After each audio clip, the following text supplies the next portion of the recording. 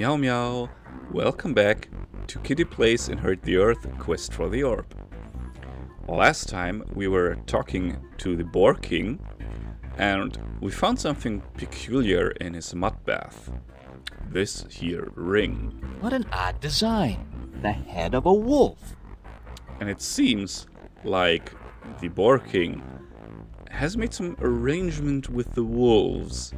And the thing is that in this area that we can... Let me go back to the path.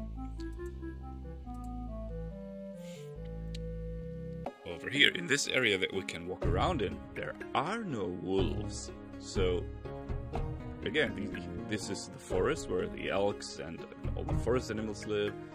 This is the cave of the rats. This is the village of the ferrets, the boars. This is a, an hermit's house, a sanctuary, and the fairground. And the fairground is like where everyone comes together, and not even there were wolves. So, where could we find the wolves? Well, how about we take a look around in the village first? That said, I know roughly the solution to the game. I roughly remember it, but no, I don't know the exact steps, the exact uh, order to do them. So I might be running back and forth multiple times. But I do know, of course, this whole place wouldn't exist if we didn't have business here to, to attend to, so... And this is the place where I think I need to check all the houses to find like one of three or something particular houses. I remember that in the walkthrough there was a map. Yes? What village is this? This is the Ferret Village and site of the Tinker's Lodge. This Well, thank you for your time. See you later. this so-called Tinker's Lodge is what we're looking for. And B, the voices of the ferrets in the German version were unbearable.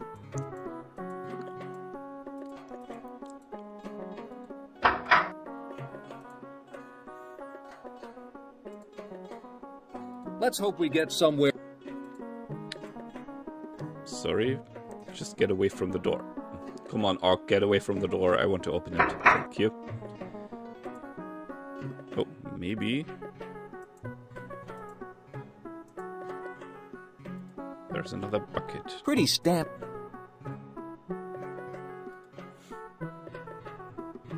We used to play with these when we were kids. Nothing unusual about these bricks. Interesting mural. Looks like a 1 by 6 to me. So Rif does know something about planks. And he was playing with wheelbarrows when he was young.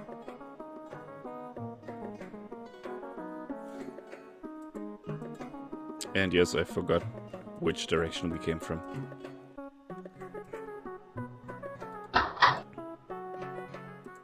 This is the same house under construction. And yes, it takes so long when, after we leave until the window disappears. Ooh, this must be the Tinker's Lodge. Looks pretty hot in there. That must be the emblem of the Builders Guild. That's a big table. Or the Guild House of the Builders Guild. I, I thought that they called it the Builder, the the Tinker's Lodge, in uh, in the English version. It's a saw. It's a nice building, but can't do anything here. Let's hope we get somewhere with these ferrets. Yeah, I want to close the door to mark this building. Oh, I can't. I can't close the door anymore. Hmm. Well, let's hope we find it again. Then. Okay, so we come in the village and then take a left. Uh, That should be easy. He said and immediately forgot.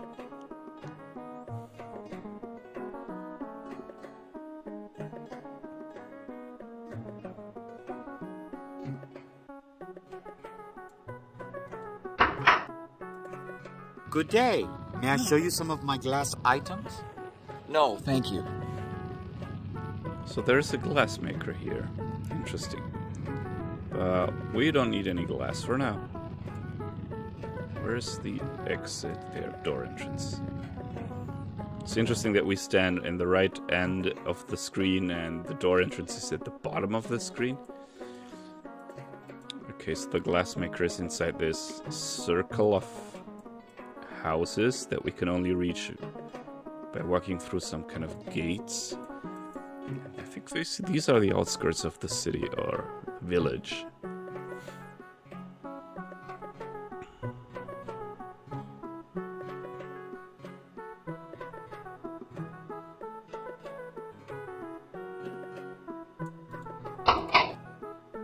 Luckily, the game leaves the doors open, so we know which houses we've already searched.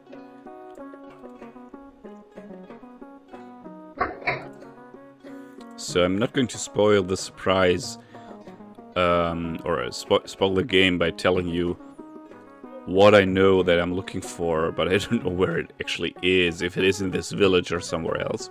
But we found two key things that we need later, the glassmaker and the guild hall.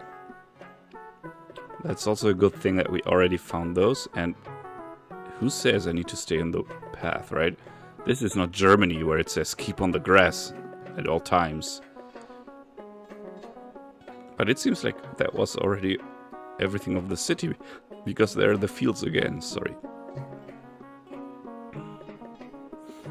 Talking a lot after eating makes you or makes me have a hiccup. Okay, it seems like this is everything we can find here.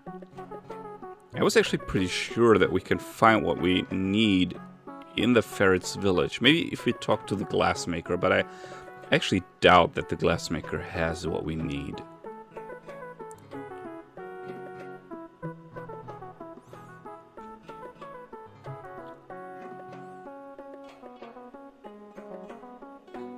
So this game, when I was when I was little, this game, um, I, I wouldn't say influenced. I mean, yes, it did, but um, it captured me a lot. I was I was playing this and I was really captured by this um, by this world.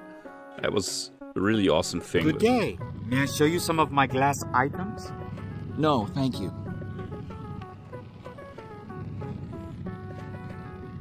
Let's see what else he has to say. Your glasswares are pretty indeed, but it is information, I see. Information? This is not an information booth. You are not going to purchase anything. I suggest you move on. Can I pick up some coal? No. It's pretty hot in there. Okay. So we need to wait until we need to buy some glass.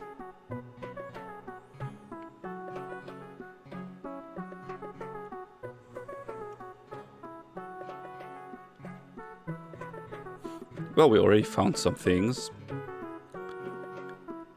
Not to worry.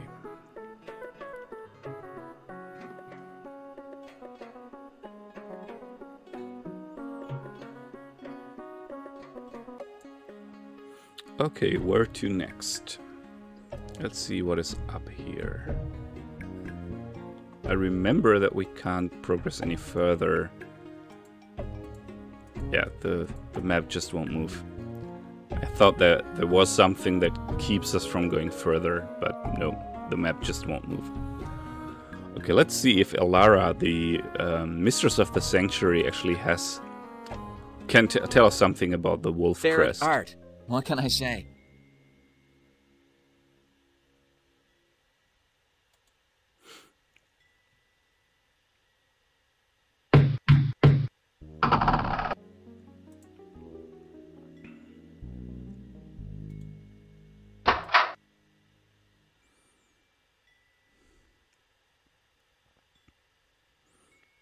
As for the audio of the game, um, these are digitized um, sound effects, of course. Um, and the music is that's the MIDI era. So it's it's MIDI file music interpreted by your sound card while you play. a lot of games use that, and even the the um, SCUMM games like Monkey Island use the iMuse system, which um, which was able to fade in and out the different instruments uh, on the MIDI channels while you were walking.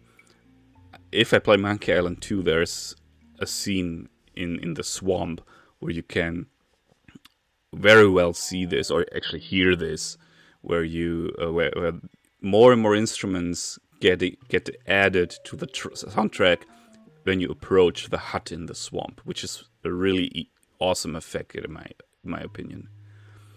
For some reason, I'm now struggling with English words again while talking. That's kind of it's kind of weird.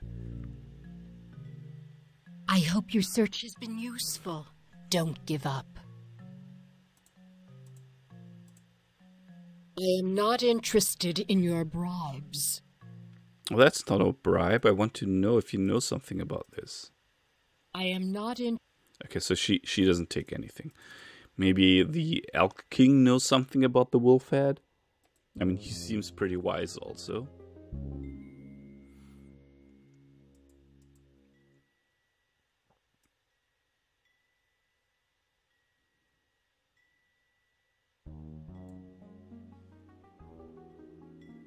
Just try it out if the touchscreen works. It doesn't. The mouse points to the right position, but it doesn't click. Well, on that tiny part of the screen, I think using the touch screen is not an option anyways, so...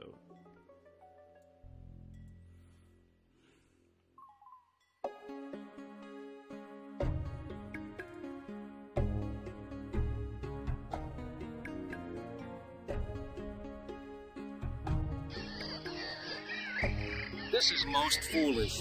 We are the last people the king wants to see. Talking to the king again will do us no good.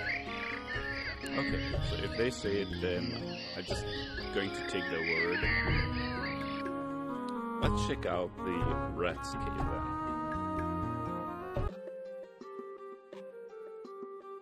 I haven't seen this many rules since I was in school.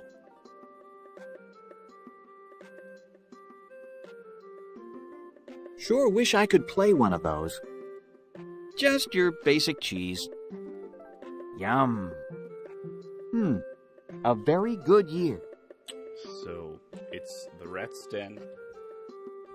Sorry. I just need to move my bench, which I'm sitting on, a bit closer to the, uh, to the computer. So, since it's rats, of course, they're eating cheese and drinking wine because but you drink wine with your cheese, right? So let's try to get inside. Sorry. Wait! You're not allowed in there! I clicked that away in the first time because I thought the game hadn't acknowledged my click. So let's try talking to the doorkeeper. Maybe he will let us in. Good day to you, sir. Day it is. Good it is not. We are in need of information. What sort of information? I am curious about the history of the rat tribe. What can you tell me? I have no time for a history lesson. You should schedule an appointment with one of our historians. Your historians? That's right.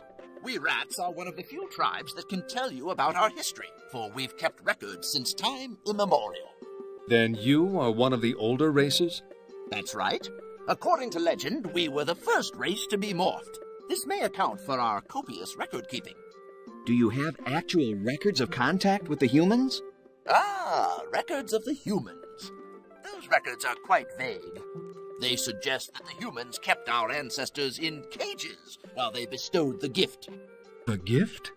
That is what our people call the giving of self awareness to morphs. And what happened after you were given this gift? Details are sketchy, Apparently, our ancestors worked with humans on a regular basis. In fact, they taught us their language and script. Your ancestors served the humans? Serve them? Of course not. We are not servants. We help them in their scientific experiments, on some level. Then the rats and the humans must have been great allies. Not so. Even though some humans worked with us, most of their race had great prejudice and fear toward us. They would drive us away or kill us if they could. morphed and unmorphed alike. Some had such hatred for us that they would hunt us down and set traps to catch us. What did your people do? What we had to do to survive. We segregated ourselves from man and built dwellings under the ground where we would be safe from those that would harm us. We continued that lifestyle even after the humans vanished. And you believe these legends? I believe all legends are part fact and part fiction. Which is which, only our ancestors knew for sure. That's that's actually pretty neat. So the rats are the first ones to be morphed while being kept in cages. I can actually see that happening. Like the rats being experien experienced, yeah, experimented on, uh, and somehow being morphed. And of course, thus they are the first ones because all of our experiments are firstly made on rats usually. And your job is to watch this door? It is not. I am no mere watchman. There are several of us who take turns watching the door. My main duty, however, is keeping track of our trade balance with other tribes. What is your main form of exchange? We deal mostly in information. Whatever skills we have come from our vast storehouse of written knowledge. What is your main form? We did whatever, What is your... Uh. whatever. How did you get this job? It is a trade that was passed down from my father and from his father before him. So by heritage. Sorry for that. Before I accidentally, I, I was assuming that the items get removed once you've heard them. You've been doing this a long time then? As long as I can remember. My father would bring me to this very room, even when I was very young, and teach me about this trade. Do you enjoy this job? Enjoy? Enjoy? What kind of question is that? It is my job. It is what I do for the good of my society. My personal enjoyment does not enter into it. Tell us more about your society. Tell us about your people. For one thing, we like to be left alone. Really? Why is that? Because we are usually too busy to make idle chit chat. Therefore, our contact with other races is usually limited to what is necessary for trading. But there were several rats at the puzzle tournament. In fact, it was a rat who beat me. That's true. We seem to have a great skill for puzzle solving. Hmm. so, several of our younger members do enjoy getting out and dealing with other tribes at these events. It's just a phase, however, and usually doesn't last long. They soon return to the solitary lifestyle. What do you do for fun? Our pastimes are mostly intellectual games, puzzles, anagrams, the like. Physically, we enjoy foot races and hide and seek. Now, if you will excuse me, I must get back to my work. Yeah, he doesn't have time for idle chit chat, but he's chit chatting with me for what, 10 minutes now? You are indeed a most interesting race. We would like an audience with your leader. An audience with our leader? An audience with our leader? Do you have an appointment? We do not.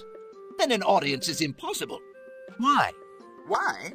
Because he only receives visitors from mid morning until mid afternoon every other day during the week, and from noon until dusk on the other two. On the day of throne, he receives only invited guests from dusk until midnight, and on the day of death, he receives no visitors whatsoever. Therefore, you will have to wait for your audience. But, good sir, you do not understand. Hmm, let's try to confuse him. I have an idea to distract him. Play along. We'd like to make an appointment. Very well, then. What is your name again? My name is Rif of the Fox tribe. Rif of the Fox tribe. And you are. This is Who Are You of the Boar tribe. and Yes, I Am of the Elk tribe. I like the English names You more. are. Who? No. Yes, sir, I am. No, no. Uh, who are you? That's me. You? Who are you? Who are you? I'm the doorkeeper. Who are you? Who are you? I said I'm the doorkeeper. Who are you? Sorry, I need Who to are listen to that. I'm the doorkeeper. Who is he? That's right. What? That's my nickname. What is? Who? You? What is your nickname? No. Who is? Do you know his name? Yes, sir, I am. You are what? Who? you? Who are you? Who are you? I'm the, The doorkeeper. doorkeeper. Once again, what is your Oh, name? Yes, sir, I am. You are who? No, that's him. Who is him? That's right. Ah! who are you? And now it starts again. I'm the doorkeeper. Nice. Who are you? Uh, it's it's exactly the same in German, but it's ah, it's so hilarious. Who are you? Oh, that's me. yeah. So uh, this is the rat's cage, and of course they have a maze. And the golden rule for mazes is always stick to one wall, and um, let's select the left one. I know I don't remember where we need to go, so I'm actually going to stick to the wall.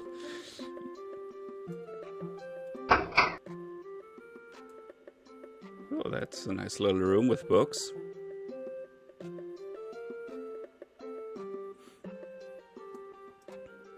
That's nothing. Another nice little room with books.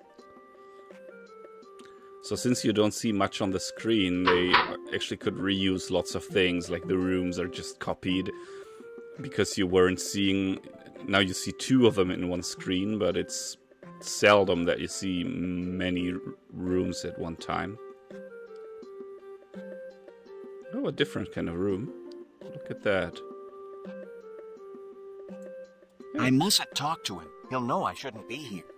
Ah, okay, so we're not allowed to talk to the rats. Good.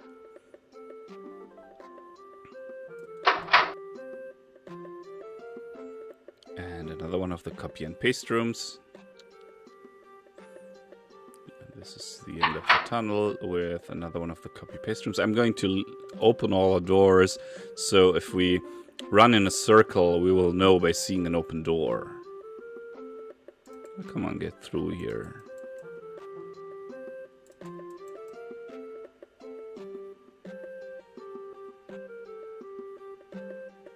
Nope. We're now running again along this wall here, so the door wasn't in our path yet. The door, check if there's more than this than the copy paste thing. Oh look, this this is a door with nothing, so this will lead into another screen. Okay. There's a doorway here and a doorway here, and it, nothing else. Could be that this is a map of the whole thing. But basically, we can just walk from left to right. Very interesting. Still walking along. Look, there's holes in the floor, and they aren't showing on a, as, as anything under the cursor.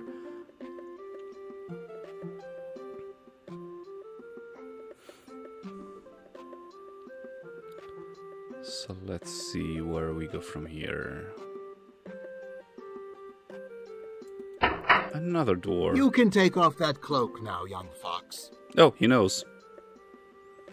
Well, anyhow, You sure have a lot of stuff in here. You sure have a lot of stuff in here. You sure have a lot of stuff in here. oh come on, he could have said something else. You must have had a long journey. So tell me, how did you manage to get past the doorkeeper?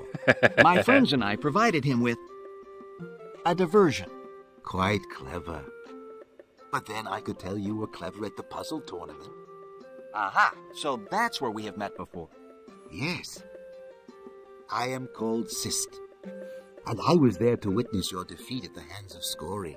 Scory was lucky. Sometimes all that stands between a winner and a loser is a little bit of luck. Now then, why are you here?